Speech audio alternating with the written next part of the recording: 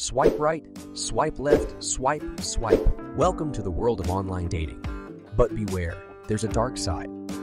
Online dating has become a popular way to meet new people, but it's not without its challenges. From fake profiles to catfishing, online dating can be overwhelming. It's important to be aware of these issues and take steps to protect yourself. One of the biggest pain points in online dating is dealing with fake profiles.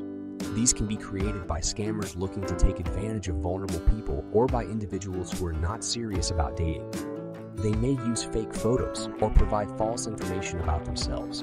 To avoid falling victim to a fake profile, always be cautious and take your time getting to know someone. Look for red flags, such as inconsistent information, evasiveness, or asking for money.